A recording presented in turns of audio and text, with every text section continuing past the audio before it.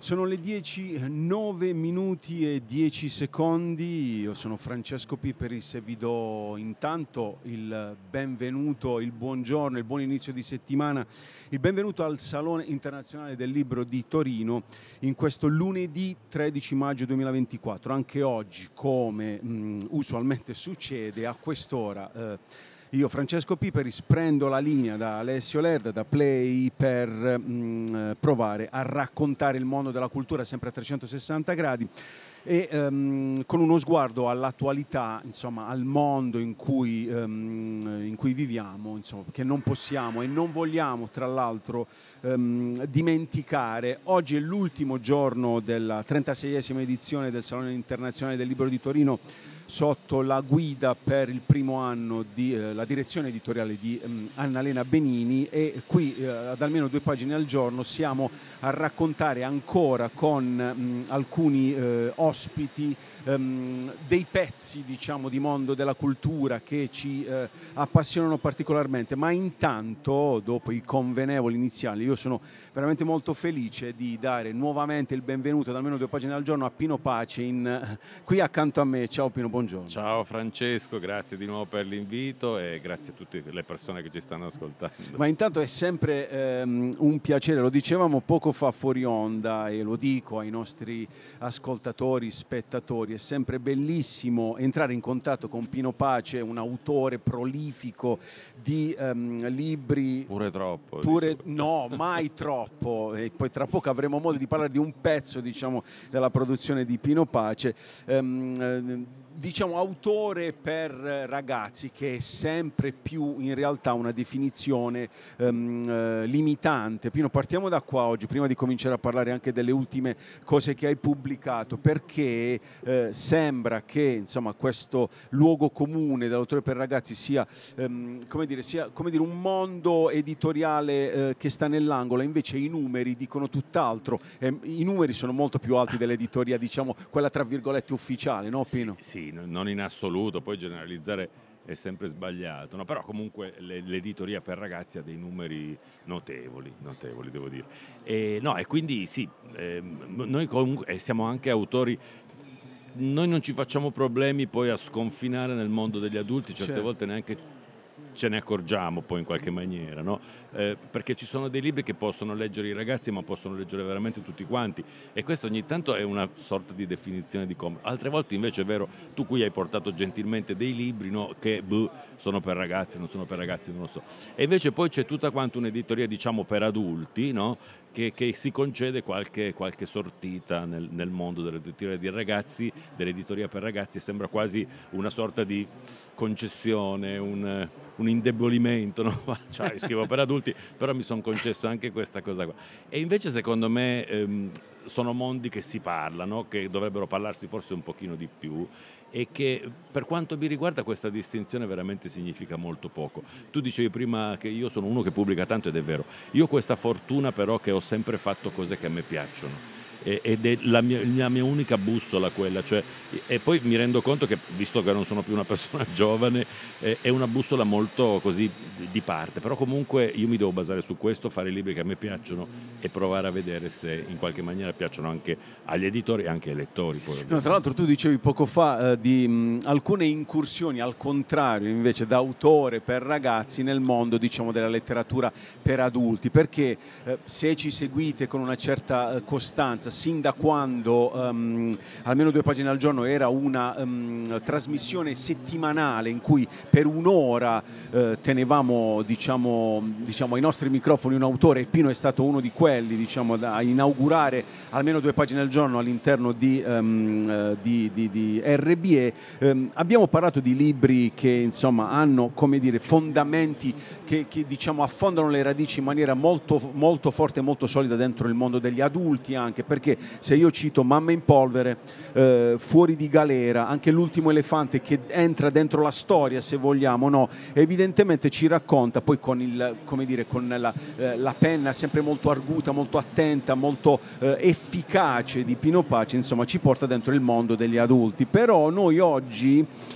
Ehm, vogliamo raccontare un'altra, eh, diciamo, un'altra incursione nel mondo della poesia della poesia breve, correggimi se sbaglio, perché intanto io da quando ci siamo visti l'ultima volta per parlare di questo libro, Poesie per gente che va di fretta, scritto con Chiara Lorenzoni per Marco Simarcos, eh, ho provato a scrivere ai cui i risultati sono stati disastrosi, io ho provato diciamo a raccogliere il tuo invito a scrivere haiku, ma i risultati sono stati disastrosi. In realtà Pino Pace frequenta il mondo degli haiku ormai da diversi anni, aveva pubblicato anche questo libro, Haiku in bicicletta, Notes Edizioni. Io le faccio vedere le copertine perché questa è la bellezza anche di fare la TV. Certo. E poi ancora prima, se non sbaglio, un gatto nero in candeggina finì 35 IQ per bambini di ogni età, sempre note edizioni. Questo, diciamo, erano i primi libri, o insomma alcuni dei libri sugli IQ, perché da pochissimo invece, sempre per Marco Simarcos e sempre con Chiara Lorenzoni, Pino Pace ha scritto come un gerbon, germoglio di bambù in viaggio con Basciò, samurai degli haiku. Questa volta in realtà in quest'ultimo libro, Pino, ci sono gli haiku quasi come dire, a cadenzare um, eh, i capitoli che poi non ci sono perché è un'unica storia, però in realtà questa volta tu racconti la storia di questo maestro, se vogliamo, no? um, che, che um, si porta dietro un, un discepolo, Sora, no? e è una storia assolutamente disarmante per la sua semplicità, diciamo, che però la dice lunga e credo sia una scelta interessantissima questa qui rispetto invece alle ipercomplicazioni del tempo presente diciamo. perché questa volta con Chiara Lorenzoni avete deciso come dire, di andare ma davvero questa volta all'essenziale eh, perché l'aiku è una poesia essenziale comunque, no? è proprio una poesia di, di, tre versi, 17 sillabi, dove ci devi mettere tutto quello che è importante in quel momento da, da dire, da fare. E 17 sillabi non sono tante, sono poche. E, ehm, a noi questo libro ce l'ha chiesto l'editore di fare, certo. e a me e a Chiara Lorenzoni. Io e Chiara Lorenzoni, come dicevo, abbiamo fatto insieme Poesie per gente che va di fretta, che era un libro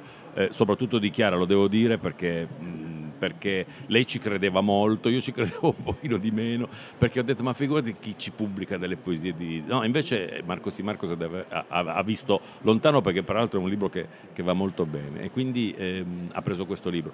E, e, poi ci ha chiesto di fare quest'altro libro qui. In quest'altro libro qui, eh, come un germonio di bambù, io e Chiara Lorenzoni abbiamo raccontato la vita di Matsuo Basciò che è considerato uno dei creatori dell'haiku, no? di questa poesia certo. breve, poesia sintetica. E, ehm, e, e abbiamo fatto in questa maniera. Io alla fine ho fatto una prima stesura, lo dico perché fa parte un po' dello spirito un po' del laico. Avevo scritto questa prima stesura che mi sembrava molto completa, molto adatta a un pubblico giovanile, anche qui giovani ma anche adulti può andare bene. E poi Chiara ha preso questo testo e l'ha rivoltato veramente come un guanto e, e secondo me funziona meglio così. E ecco, questo è un po' anche il senso di scrivere queste, queste poesie in due. Eh, guarda, secondo me l'Aiku è, è, una poesia molto bella, l'avevamo messo nella, nella, nella postfazione a questo libro qua dove ho, ho citato ehm, eh, questo, questo, autore eh, giapponese no? che, che, così in qualche maniera è mm, Natsume Soseki che è considerato il, il il creatore della letteratura giapponese contemporanea, no? che parla delle poesie brevi e dice no, no, non vi preoccupate del fatto che sia così semplice scrivere una poesia come un haiku, anzi questa qui è segno di grande importanza che ha questa poesia. L'haiku è una poesia vera, è una poesia semplice che però possiamo scrivere tutti. Io ti direi, guarda, tu hai provato, ti direi di riprovare ancora. Ma no, ci provo da mesi, sì, diciamo, no, perché, perché... evidentemente però è un'operazione come dire di condensazione, intanto passano anche amici autori ed è bellissimo insomma, salutare anche meravigliosamente Daniele Aristarco che è stato nostro ospite già da poco, da poco e che ci ha dato una mano anche nell'ultima newsletter, per cui è bellissimo questo, questo, diciamo, questo mondo proprio per questo. Ciao, ciao ragazzi. E, mh, ci ho provato, dicevo, ma in realtà è tutto molto molto complesso, perché in realtà è come dire la poesia all'essenziale essenziale, però insomma ci vuole anche un po' di, di talento o no? Guarda, sì, ci va, però oppure no, perché, perché eh, questo, il primo libro che hai fatto vedere è Un gatto nero in candeggina e finì, sono poesie che veramente questo è il primo che avevo scritto e davvero ho provato a dire ma queste cose possono interessare i bambini? La risposta è stata sì, quello è un libro che ha 15 anni quasi. Certo e continua ad andare in giro e i bambini sono quelli che gli haiku li capiscono veramente in pochissimo tempo. E a me questa cosa mi ha sempre portato avanti, cioè nel senso che ehm, ogni tanto c'è qualcuno che mi dice guarda che l'AICO ha delle regole molto stringenti così. Io sono d'accordo, le conosco, qualche volta le applico, qualche volta non le applico. Quando sono con i bambini non le applico, perché i bambini trovano la loro maniera di fare queste cose e poi comunque in ogni caso la resa estetica, l'incanto, la bellezza di queste poesie esiste veramente, c'è. Sei uno scrittore irregolare di haiku allora. Assolutamente, ma assolutamente no, ma secondo me è un po' il punto di forza di questa poesia non possiamo continuare a scrivere come nel 1600 scriveva certo. Basciò, anche se Basciò ha fatto tutto, cioè lui ha detto questa è la via, poi ognuno la segue a suo modo secondo me, quando vai in una scuola la fai in un'altra maniera, io queste poesie le ho fatte in lingue non, itali- non in italiano, le ho fatte in alcuni dialetti, si possono fare veramente in tante maniere diverse ed è per quello che tra, peraltro è l'unica poesia che io mi, eh, mi, sento di avvicinare, io invece l'altra certo. poesia, quella diciamo occidentale, lì faccio un po' fatica davvero e i risultati quando ho provato non sono stati buoni. Qui ogni tanto secondo me qualcosa di, di decente c'è, ecco. allora, molto, in, maniera molto immodesta. Eh, però dico. la lettura di Come un germoglio di bambù in viaggio con Basciò, Samurai degli haiku, ribadisco, scritto da Pino Pace con Chiara Lorenzoni e pubblicato da Marco Sì Marcos, però ci dà anche delle indicazioni rispetto anche ehm, al tempo presente, perché mi fai dire che eh, dal mio punto di vista questo è anche un inno alla pace, perché a un certo punto si parla di linguaggio delle armi, in quel caso il linguaggio della spada, no? e, eh, eh, e, invece mh, la potenza, eh, al contrario la potenza delle storie, perché si parla di inchiostro come um, uno strumento per raccontare storie, che è quello di Basho, rispetto alla spada, perché c'è un personaggio che vuole diventare samurai e che è affascinato dalla spada, dico soltanto questo, e invece si legge in questo libro che la spada invece um, parla di sangue, il sangue in realtà ho sbagliato anche a dire, non parla ma urla, diciamo, sì. in questo tempo in cui ne parlavamo anche qualche giorno fa con altri ospiti all'interno di questa trasmissione, abbiamo la guerra sostanzialmente in casa, diciamo, è anche un atto di coraggio se vogliamo questo libro semplice, ma lo dico con, con grande rispetto, diciamo. Pino. Sì, sì, no, questa è una storia minima, racconta di, di Basciò e di, di, di Sora, che è il suo amico, collaboratore, eh, così, la persona con cui si accompagnava, una delle persone con cui certo. si è certo. accompagnata, Basciò è stato un grande viaggiatore, un grande girovaco, dove andava a raccontare poi la sua maniera di poesia che arrivano in questa casa di questo contadino e questa bambina che si prende un po' cura di loro, che porta un pasto caldo nel, nel, nel fienile dove si sono rifugiati per, per passare la notte e, e, arriva a contatto con la poesia. Questa bambina è una bambina diciamo, che a noi piace molto come carattere perché è una bambina che dice io voglio fare la samurai, ha questa voglia voglia di affermarsi, no?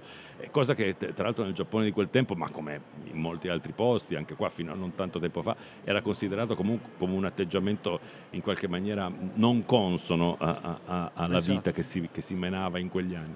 Eppure questa bambina ha questo desiderio di rivalsa e quella notte però succede una cosa strana perché loro non è che castrano questo desiderio, esatto. però po- probabilmente lo spostano da un'altra parte. No? Anche quello delle lettere era un mondo come quello dei samurai, quello delle armi vietato comunque alle donne. Ecco. E invece loro gli fanno conoscere questo mondo qui. E gli dice il sangue no, urla, e invece l'inchiostro eh, dice delle cose. E c'è anche tutto quanto questo discorso il Giappone è, un mondo estremamente interessante, no? anche della scrittura eh, giapponese che ha molto a che fare anche con il disegno, ha molto a che fare con questi gesti che sono gesti antichi ma sono gesti unici che vengono certo. esercitati negli anni, no? c'è anche tutta quanta questa pratica della scrittura che a differenza della nostra che prendiamo appunti, scriviamo disordinatamente e, e ha anche un, un, elevatissimo senso estetico. No? Ecco, quindi mi piaceva che questa bambina in questa casa sperduta, figlia di contadini, venisse a contatto con questo mondo e chissà che cosa lascia poi, no? però secondo me è anche questo tu dicevi prima della pace, sì, anche la pace, anche la testimonianza che possiamo fare noi con dei piccoli gesti è una cosa importante no? eh, riguardo, riguardo, la pace. E noi lo facciamo, eh, davvero non siamo nessuno, lo facciamo come siamo capaci di farlo, quindi anche magari mettendolo dentro un libro. Ecco. E... e poi anche un'altra bellissima sfida di questo libro, si possono cogliere secondo me tantissime piccole perle perché Um, si parla di viaggio perché stiamo parlando di un viaggio, ci sono i nostri protagonisti che viaggiano, che sono, mh, che insomma per recuperare un senso se vogliamo, um, devono essere disposti a perdersi. Questo elemento del perdersi in questo momento, secondo me, in cui siamo spersi davvero, diciamo, eh, credo che sia prezioso perché è un perdersi che ha un fondamento, un perdersi per ritrovarsi. Adesso non voglio fare filosofia da supermercato, diciamo, però trovo questo elemento un elemento preziosissimo dentro l'economia, consentimi l'espressione, di, di, di questa storia, diciamo, legata agli haiku. Sì, sì. Tu ti sei perso scrivendo i tuoi haiku, ti sei ritrovato viaggiando con la tua amatissima bicicletta. allora, beh, guarda, alla fine scrivere poi è veramente un perdersi. Io ogni tanto, cioè, faccio un po' fatica a dire, no, ma non faccio fatica, invece so esattamente quello. Ogni volta che si inizia a scrivere una cosa, ci, ci, si deve essere disposti a perdersi, nel senso che non si sa esattamente dove si andrà. Anzi, io però ho amici, amiche, colleghi e colleghe di, di, di scrittura che in qualche modo che in qualche modo sanno esattamente all'inizio dove andranno. No? Invece per me la scrittura è un'immagine un, un'idea, qualcosa e poi l'inizio di un cammino, ma dove stai andando veramente non lo sai e non sai neanche se arriverai a destinazione, cioè a farne qualcosa di questa storia qua. Anzi, certe volte non vai proprio da nessuna parte perché ti perdi per strada, ti perdi totalmente e quindi passi a un'altra storia, fai un'altra cosa. Però devi essere disponibile e, e c'è anche proprio un po' questo questa paura di perdersi all'inizio, perché certe volte quando tu hai una storia che pensi che sia una bella storia e cominci a scrivere, dici adesso vabbè ho scritto una pagina, me ne mancano 300, quando arrivo a destinazione, capisci? Quindi c'è un po' quest'ansia del, del, del destino di quest'opera che...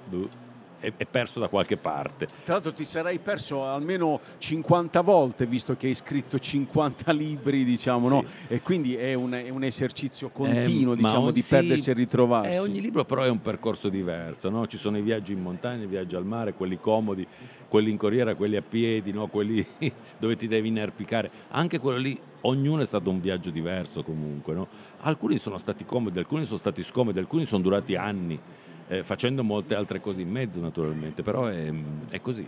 Sì, sì, no, la metafora del viaggio secondo me regge molto bene quando parliamo di scrittura. Eh.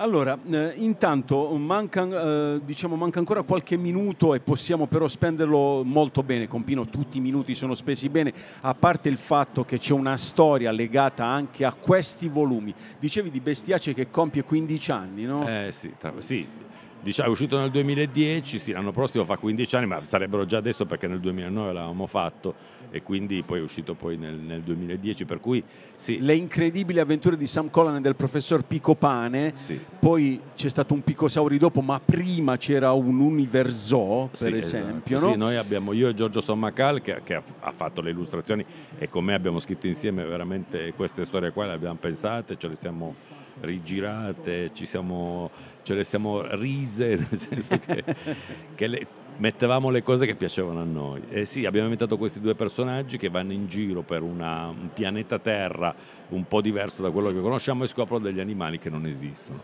E gli animali che non esistono sono fatti dall'unione di due animali che esistono. Quindi sono esseri tipo la mucchiocciola, eh, so, il rinocerocchio, ecco, questi, questi esseri qua, la cammellula, eccetera e, il pinguistici. Il pinguistici, sì. No, no. abbiamo girato tutto il mondo, veramente non abbiamo lasciato niente, nessun posto no, non esplorato, abbiamo scoperto questi esseri qua.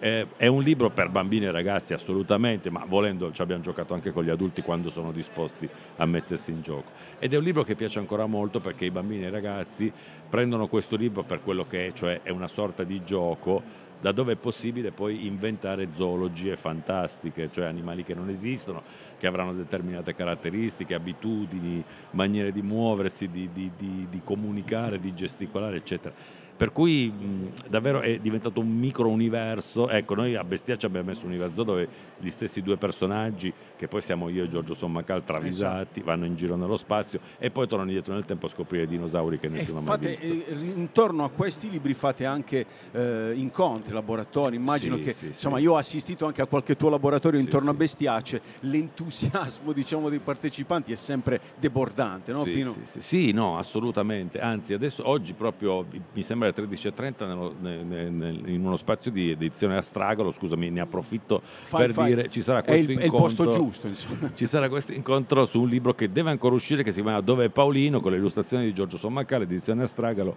e farò un incontro con i ragazzi. Il libro deve ancora uscire perché abbiamo avuto qualche, qualche problema di, di, di, tipo logistico, eh, però comunque oggi faccio una presentazione e chiederò ai bambini in qualche maniera di darmi una mano a fare questo libro che ancora non c'è. Che meraviglia, un libro che nasce dentro il Salone del Libro, eh, è il quasi, massimo quasi, della vita, diciamo, quasi. è la quadratura del cerchio. A proposito di animali, è uscito qualche tempo fa per edizioni Gruppo Abele Animalicomio, Pino Pace con Davide Panizza, ancora insomma avete avuto a che fare con gli animali anche qua dentro, sì. come dire, un mondo diciamo abbastanza folle legato agli sì, animali. Sì, no? Allora, queste sono filastrocche. Esatto. Questo è un libro che prima avevi fatto la metafora del viaggio che non lo so, cioè è un libro che io ogni tanto ne scrivevo una non sapendo bene cosa ne avrei fatto, no?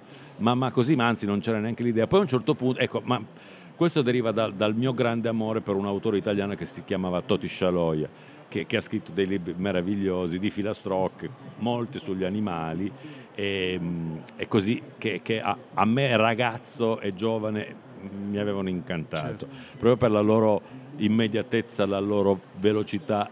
Scialoi aveva qualcosa dell'haiku, pur non essendo haiku, però aveva veramente questa fulminea, no? questa capacità di colpire con tre righe. Ed erano storielle divertenti, erano spassose, surreali, davvero incredibili. E quindi in qualche maniera, adesso veramente ho citato una persona così, che sta molto in alto, le mie sono molto più così, molto più prosaiche. Però diciamo che è nato un po' in questa maniera qua perché io ho iniziato a raccoglierli, dopodiché li ho messi insieme e ho detto adesso vediamo se riesco a farne un libro. Le edizioni di Gruppo Abele hanno, hanno recepito questo messaggio, mi hanno affiancato Davide Panizza che è un, un ottimo illustratore bolognese e quindi è nato un po' questo librettino che è uscito l'anno scorso. Eh, mi pare così ed è anche questo un libro che io porto molto volentieri in giro per le scuole perché funziona bene. Abbiamo ancora più o meno due minuti e mezzo perché tu mi hai segnalato quando abbiamo concordato questo incontro di cui eh, ti sono davvero ancora molto molto grato. Mi avevi segnalato anche altre uscite, diciamo, tra la fine dell'anno scorso, credo l'inizio di quest'anno, ma soprattutto la fine dell'anno scorso, perché voglio segnalare anche per voi che ci seguite anche sul canale 87 del Digitale Terrestre o sul sito in streaming su rbe.it. Carolina e la corona pesantissima per Gabi Books, Books. con Mattia Cerato io te li cito e tu mi dai diciamo a spot una, una, una frase, lo so che insomma non si fa, però insomma eh, con te insomma io starei a parlare per tutto il giorno, ma non possiamo farlo, però i titoli voglio segnalarli, Biancalieve e i sette nani per no, giun- i sette cani. E i sette cani. E i sette cani. E i sette cani. è imperdonabile questo errore qua. Giunti editore e mh, mm, eh, ancora per quinto quarto Rotte del mare, storie di acque e terraferma, sempre del 2023. Cosa mi dici di Allora, no, Carolina questi... la Corona Pesantissima è un'idea che, che, ho avuto con Mattia Cerato, che è stato un mio allievo dello IED tanti certo. anni fa, che è un illustratore veramente molto in gamba. È questa, questa ragazzina che eredita una corona pesantissima. E, e, quindi, sai, il peso un po' della responsabilità, se vogliamo fare la metafora. È distribuita da Gabi Books, che non ha una distribuzione libraria, certo. diciamo, convenzionale, ma ha dei suoi canali per distribuirli. Biancalieve e Sette Cani è un gioco che io faccio spessissimo con i bambini, quello di prendere una, una favola, una fiaba e farla diventare un'altra cosa. Mi piaceva molto questa. È venuto I giochi di parole sì, sempre. Ma sì, ma poi è venuta fuori una Biancalieve molto... che non è più Biancaneve, una Biancalieve...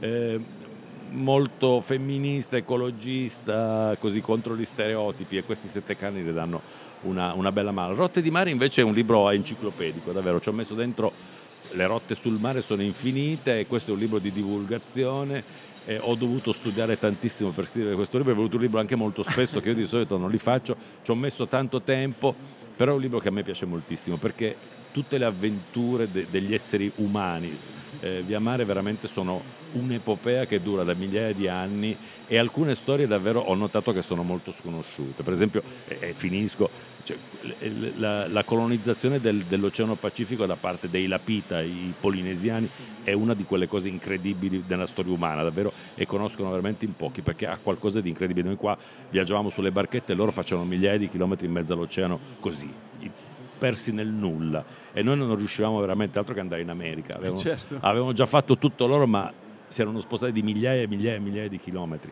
veramente impressionante. Quindi vabbè, poi ci sono tantissime storie anche piccole, anche, però che raccontano di molti viaggi che gli esseri umani hanno fatto via mare. Ovviamente Pino io non voglio chiederti a cosa stai lavorando adesso, anche perché non avremmo il tempo e tu giustamente eh, sei tenuto a, dire, a, non raccontarci niente, però ovviamente come sempre ehm, eh, l'impegno, insomma le porte di almeno due pagine al giorno sono porte girevoli. Uno te ne posso per... dire, perché è la prima volta che lo faccio ho fatto un libro silenzioso che si chiama Forte il vento forte, che uscirà a giugno per Boomy Books, che è un piccolo ma molto deciso editore, anzi è un editore, è una, una signora e, ehm, è forte il vento forte che ho fatto con un'altra mia ex allieva che si chiama Irene Frigo e quindi si scrivono anche le storie dove non ci sono parole, lì c'è solo il che titolo praticamente, però è una storia che ho scritto io e che Irene ha illustrato da par suo. E noi ne torne, torneremo a parlare anche di questo Molto così, volentieri. ancora come sempre dell'appassionato e appassionante lavoro di Pino Pace. Pino, noi siamo in coda a questa eh, conversazione, io ti ringrazio molto di essere stato qui Grazie con noi da almeno due pagine al giorno, spero sia stato un buon tempo anche per te sì. e, e, speriamo di vederci presto. In, intanto noi ci fermiamo per um, l'infotraffico Muoversi in Piemonte per il GR di Popolare Network. Tra poco saremo in compagnia di Paola Cereda. Tra poco. Grazie.